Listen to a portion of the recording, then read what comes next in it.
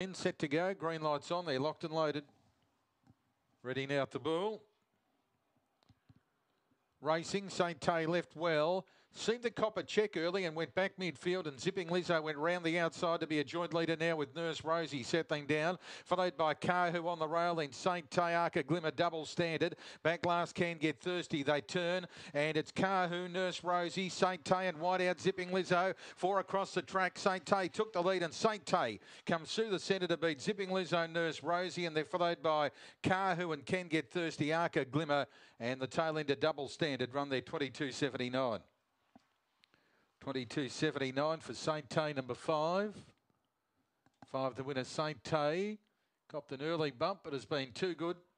Five, St. Tay, first up since March. And finishes well to win, number five. Ahead of eight, Zipping Lizzo, who was planted deep on the track all the way.